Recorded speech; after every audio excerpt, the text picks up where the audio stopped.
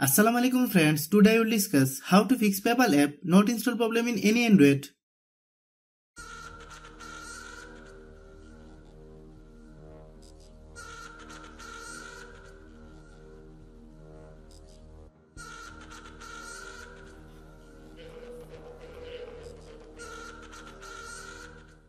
Click settings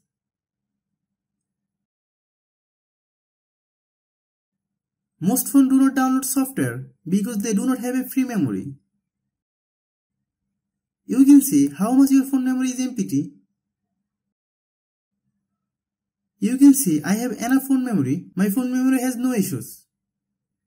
If your phone memory is low, you can delete some files or delete your unnecessary data. Then open Google Play Store. Click Profile. Click Settings. Click Network Preference. Then click App Download Preference. Select over any network. Click Settings. Click Apps. Click App Management. Click Play Store. Click Storage Use. Click Clear Data. Then click OK. Now you try to download the software from the Play Store. Then search PayPal.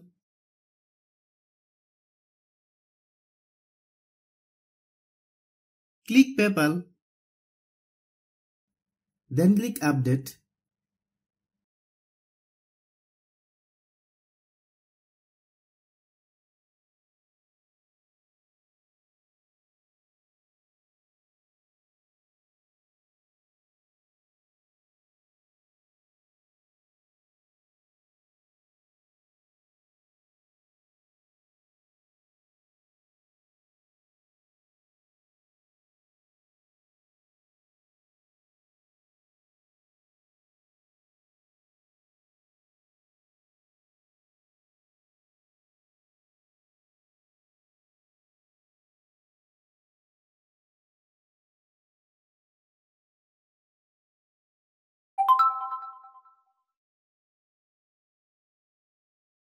Thanks for watching.